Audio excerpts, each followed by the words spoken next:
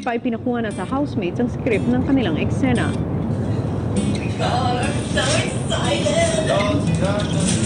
Hindi nila alam sa confession room kausap na ni Kuya ang mga napanood nila kanina. Ay, wow! Under the scene na.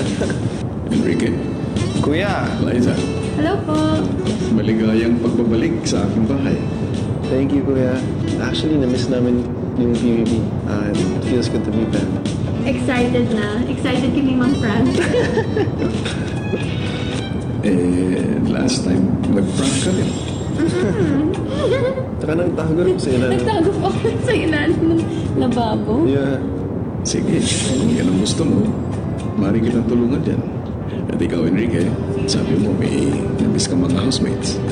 Yeah, si, uh, si Maymay, si, sila Edward. Yung Kakulit.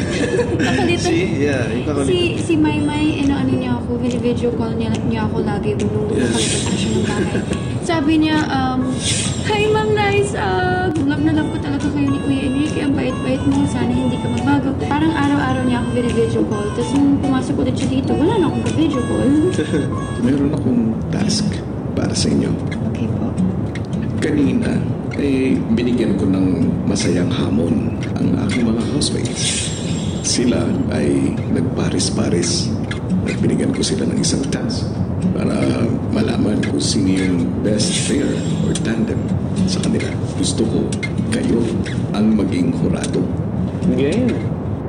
Ano nga kaya magiging eksena ng Lisken sa loob ng bahay? Pakaabangan ang lahat ng yan bukas.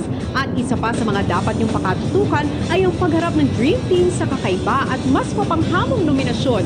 At mapapanood natin yan buong linggo sa PBB Lucky Season 7, mga kwento ng Dream Team sa Kapamilya Gold. Diyan muna magtatapos ang ating kwentuhan ngayong gabi dito pa rin sa nag-iisang teleserye ng totoong buhay at ito ang Pinoy Big Brother Lucky Season 7. Abangan bukas! Handa na ba kayong makita ang totoong Enrique at Liza? Puntahan niyo sila ngayon na! Ay, baka nasa akin yan.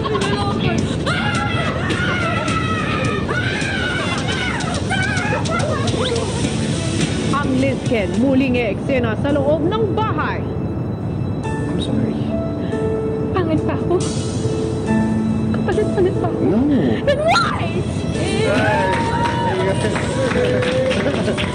So kami mag-judge ng... Ng acting skills niyo. mga tasks. Yeah.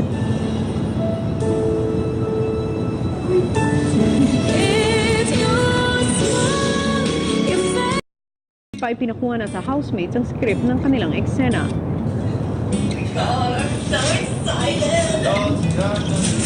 Hindi nila alam sa confession room kausap na ni Kuya ang mga napanood nila kanina. Ay, wow! Under the scene na. Enrique, Kuya, Liza, Hello po. maligayang pagbabalik sa aking bahay. thank you, Kuya. Actually, na-miss namin yung PBB. Uh, it feels good to be back. Excited na. Excited kami Mang Frank. Eh, last time, nag-prank ka rin. Taka nang tago rin sa ilan. Nagtago po ako sa ilalim ng lababo. Yeah. Sige, kung yan ang gusto mo, mari kitang tulungan dyan. At ikaw, Enrique, sabi mo may nabis ka mga housemates.